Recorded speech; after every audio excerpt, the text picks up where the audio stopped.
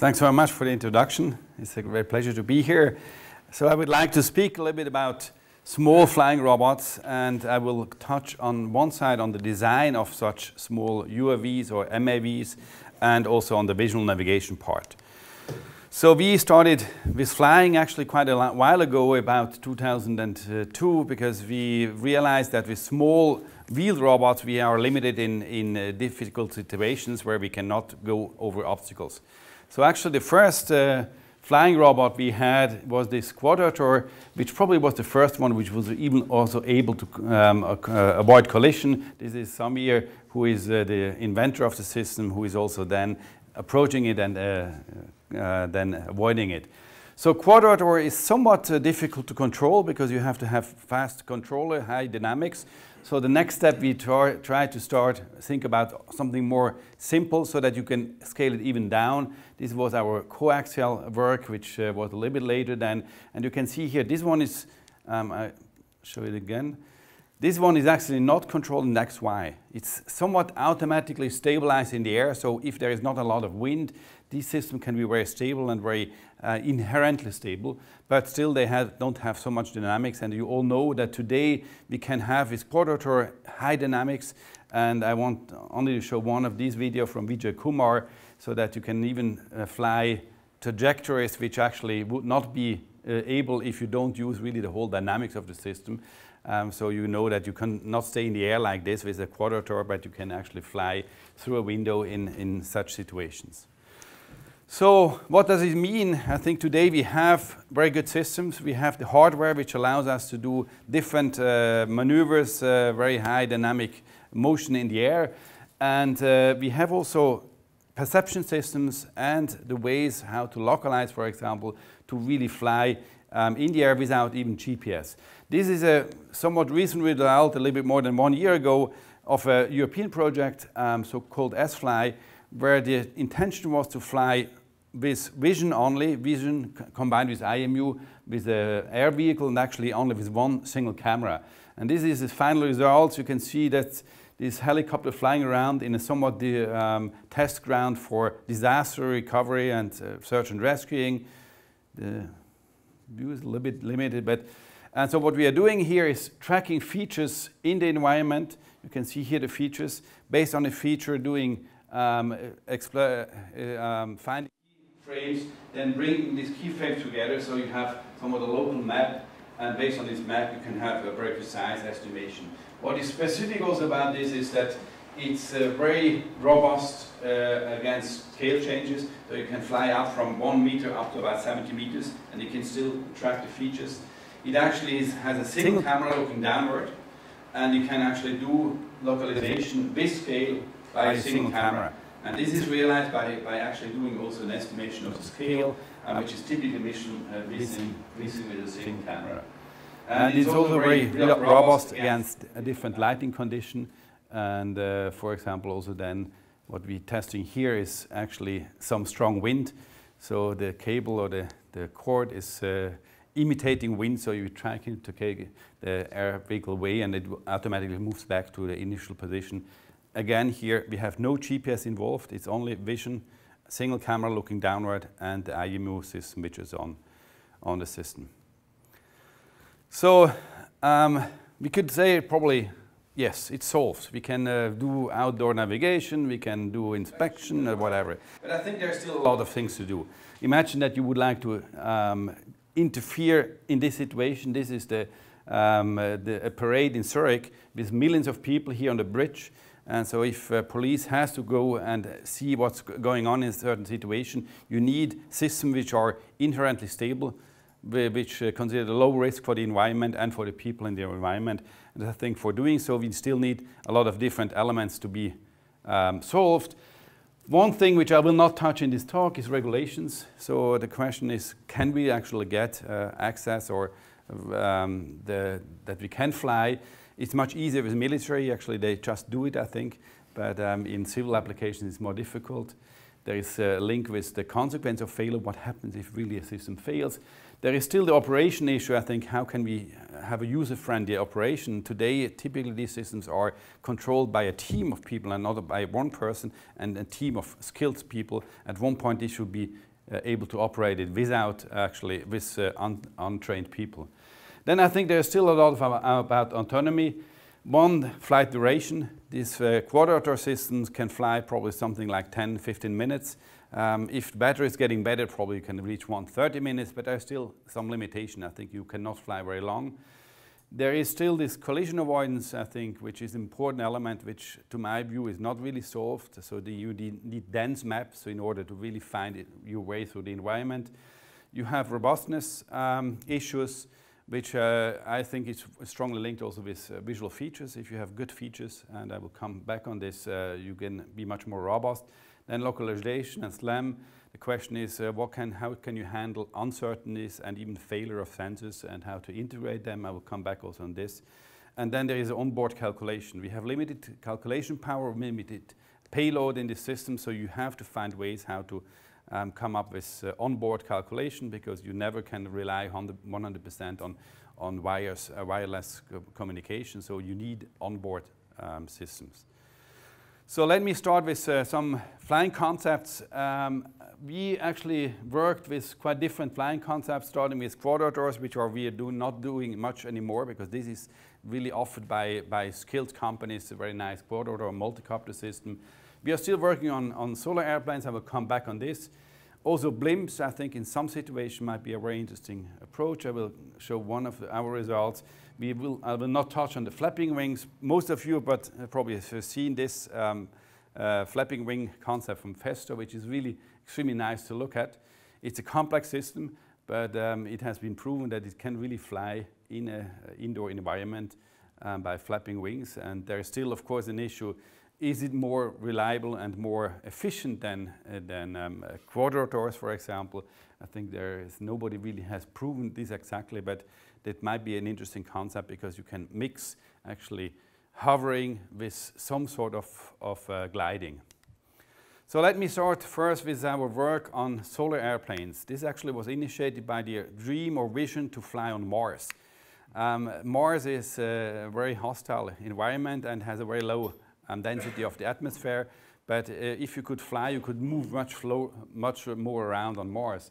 So we did start some investigation and some calculations. On one side, you have the, the mass which is required to fly for the structural mass, the batteries, and so on, the solar, uh, and then you have the aerodynamics condition, which um, actually generates the lift force. And so lift force and the mass has to be in balance.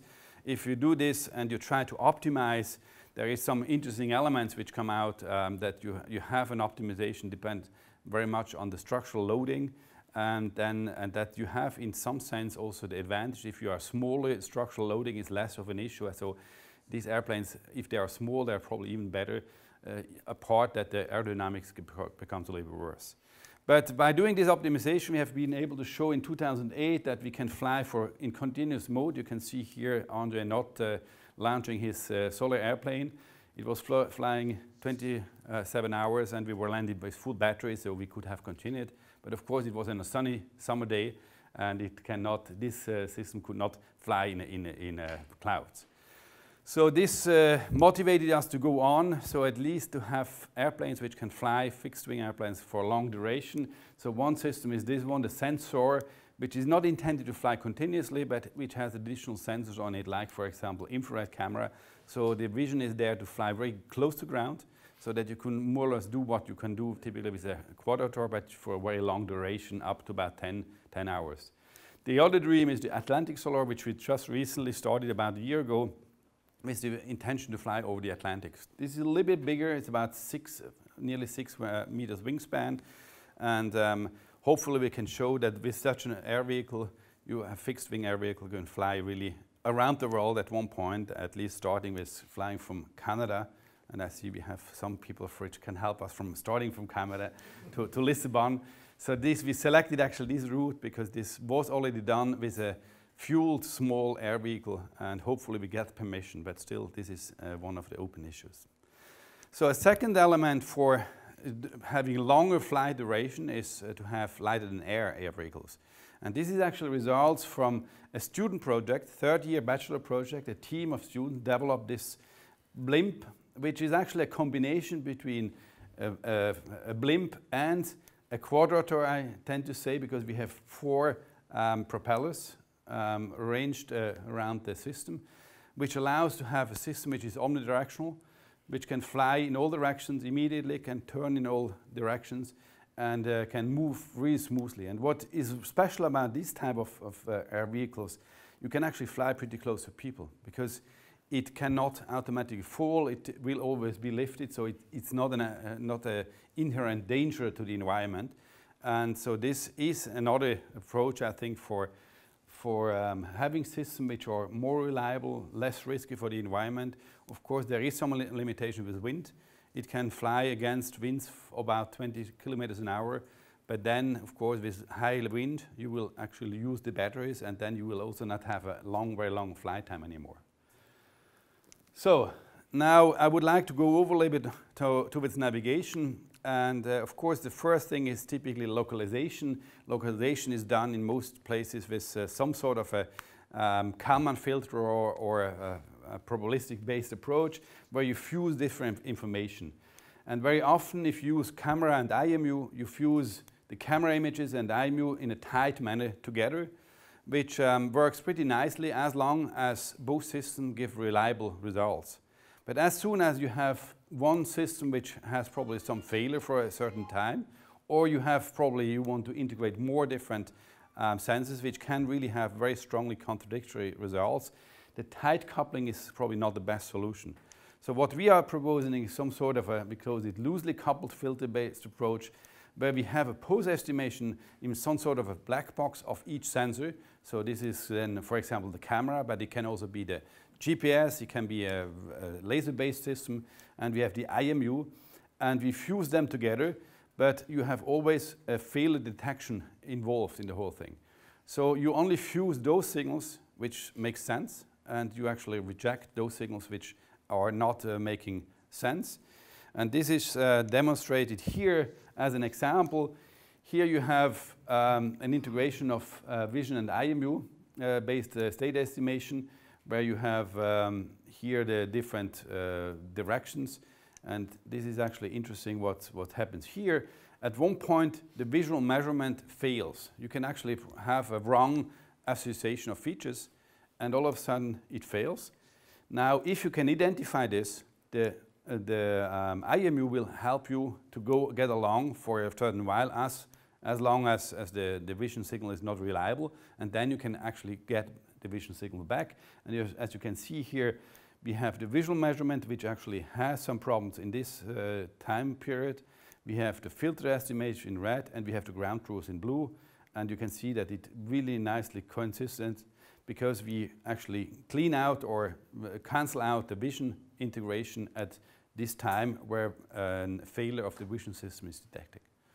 And I think this, uh, on one side, helps really to, to um, reduce or improve uh, reliability, but also allows us to have different elements integrated without scaling the, the whole state space of the estimator enormously because you just have individual elements which you, you, fit together. So it's also then much easier to add additional information you get into the system.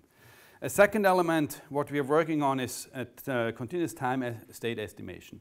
Um, this is actually what, how we do it typically today. It's a, at a, some given time, you do an update of your estimate, um, and uh, you assume that uh, in between you have no measurement and you, you linearize in between the different elements. Now, in a lot of situations, you have actually sensor systems uh, getting your information, update of information in a not very uh, precise, discrete uh, manner, but uh, whatever, in a random way. And this is, for example, the case, we will see the example later on, if you have a shutter camera, which is a line shutter camera, where each line comes in at a certain time and, and you add one line at the other. So if you assume that the whole picture is taken at the same moment, you probably are pretty wrong with your system. So for improving this, you then should say, okay, we have a continuous time estimation and actually we integrate just all the information when it comes in at any time. And actually what you could also imagine, you can even integrate information which is actually be, uh, in the past, more in the past than the, your latest, update. This can happen because some sensors need much more time to actually extract and filter their information until it's ready than others, so they come in in a separate, separate timing. What of course you need is a very precise timestamping of the signals so that you can integrate it on one side, and on the other side you need also a continuous form of the, the, the states. And this can easily be done in some sort of a, a B-spline, for example, or whatever function you would like to, to integrate for this, which is smooth function.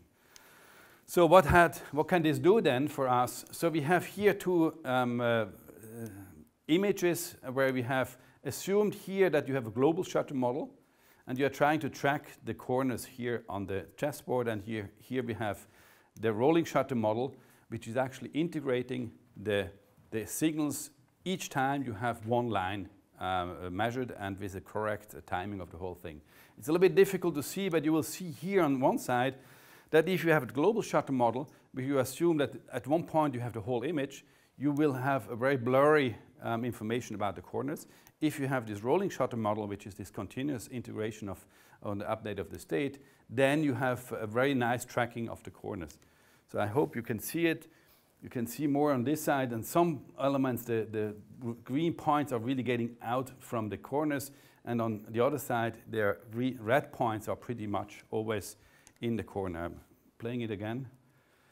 And so, in principle, it's obvious. If you have a, line uh, a rolling shutter line camera, you will have a huge difference between the first and the last line. And if you assume that this whole picture is taken the same moment, and if you have a fast movement, which is actually given by typically by air vehicles, then you will have a problem.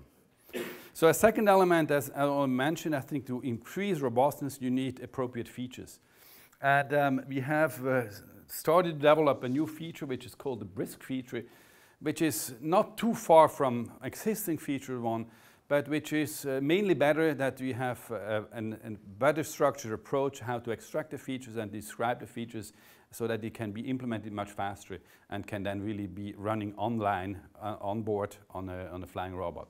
So again, with most of the features, we have the scaling effect. So you have uh, different scales, and then you have an interpolation about the scale. About the scale, we are using the co fast corner detection, um, and uh, and then we have a structure which is given like this. So in principle, you always have the the red circles, which are the the size of smoothing kernel up, uh, uh, and then we have the blue circle, which is the sample pixel. And in compared with other approaches where you have randomly select uh, different uh, measurement points, here we have a very structured approach, which allows us then to easily uh, handle the scale invariance and the rotation invariance. And at the end, you end up with something which is about 10 times faster than SURF, has, but has about the same quality of uh, robustness against uh, lightning changes and against uh, different other issues. So um, again, still, even with this, it's quite tough to do it on a low power computer on, a, on board. So we are also in parallel also working on a, on a special card which has an FPGA involved so that we can do some part of the feature tracking on board directly. And here you can see actually on the video a little bit how reliable this, uh, this feature tracking works. You can see you can really turn in all directions and it, it easily tracks features and this is working for indoor and outdoor. Sometimes if you apply this, you, you are surprised, at least we are, we're surprised, and a lot of these features um, actually not only uh, the BRISK feature are pretty good on grass. For us humans, grass is, is randomly the same. And for actually cameras, they can actually track really nicely features on grass. We were just flying, putting our helicopter on grass, doing the visual, visual navigation, and interestingly, it worked extremely nicely, um, which would, what human would really be lost. So technology has some other advantage, uh, sensors, and I think it's always important to really learn about this. We recently learned also that infrared cameras can extre uh, be extremely nice and complementary to, to a standard camera. Imagine you have inside here if you switch off the light, the infrared camera will more or less have exactly the same image. It will only smoothly change. For example, the light bulb will change the color, but this will take middle minutes and not seconds. If you switch off a standard camera, if it's dark, it's dark. And uh, this can be extremely helpful in, in a lot of situations, for example, for tracking features, because they don't change immediately and abruptly. So let me move a little bit towards, already towards the end. So what, uh, with this combination with uh, a good estimator which allows to integrate different sensors, but also um, the appropriate features, you can do today with uh, cameras quite a lot. And uh, what, what you could also, can also imagine to add on not only one camera, but two cameras.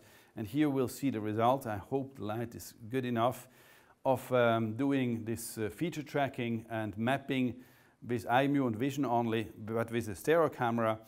And if you have a stereo camera, so it's moving around here, you can see actually here all the features which are tracked and then aligned in a map. And what we're doing here is, is moving more or less the size of this building, actually moving even from one building to the other, um, up and down different stairways.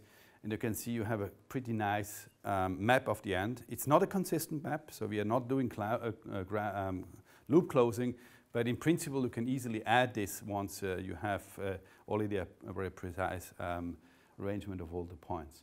Now, the stereo camera has one strong advantage compared with what we did up to now with a single camera, is that um, stereo can immediately have also dense information. Dense information is not required typically for, for localization and mapping, but it's required for collision avoidance. So if you want to fly into, into a building through a door, you need dense information. You can actually forget it later on, but you need dense information. And by using camera, a stereo camera, using features for localization and then using the stereo image for actually collision avoidance, we hope that we can further improve that these systems really become reliable in all type of environment without collision and you can fly them around and they, they know where they are. So one element always towards this dense map is only to show what you can imagine if you have a, um, different images and you typically stitch this image together. This can, you can have all these this, uh, goodies even on, on mobile and smartphones but it takes quite a, uh, some calculation power, so you can do this not do in real time on a, a lower, low calculation power. But what you can imagine to do is that you track only features, the, the features, for example, BRISK features, as you can see here, and you move around in the environment, and you use these features to align one image sample to the other. And so this tracking of the features can be done in real time and then you can just stitch them together and you have somewhat a naive first approach um, for the um, for consistent um, representation of the local environment. And of course, this can also be then done with, with stereo images. So you need, you use the, the, uh, the features to realign one image to the, or the other of the stereo images, and then you have immediately a very pretty consistent depth map of the local environment. So with this, I would like to wrap up. I think long duration flights are possible if you go with other assistance than with um, helicopters, for example, with fixed wing solar airplanes or blimps. This will actually extend the range, I think, for applications. I'm personally extremely convinced that these solar type airplanes uh, have a, a, very high value because you'll launch them and then you can actually keep them and get information for hours. Imagine you have a bushfire, these uh, airplanes can give you update after an earthquake, our, the Swiss earthquake uh, rescuing team mentioned that the biggest issue when they go to a place to help is that they arrive there and nobody knows anything about where is the critical issue. So it's best if they could themselves actually get a view of the situation. So launching an airplane would allow them really to get immediate information and then actually uh, have an update of the situation. And I think there is other fields like agriculture and so on which this can be of help. Um, Feature-based visual navigation for small air vehicles, I think, is uh, getting feasible today uh, with all the different elements, but there still is some, some additional improvement on hardware and, and software, algorithms uh, needed, but there is a high potential, and I think it's, it's the time to do it. And um, improved features and estimation techniques uh, will hopefully help to make these systems more reliable, together also with hardware reliability. If it's a fixed wing airplane, for example, we have full redundancy. So each actuator actually can fail, and we can still continue to fly. This is with the, the, sensor system, not, not with all the system. but you can actually do redundancy so you can still have a safe landing once uh, one uh, propeller is failing or one um, actuator is, is failing. So with this, uh, I'm concluding and I'm happy to take questions. Thanks very much for your attention.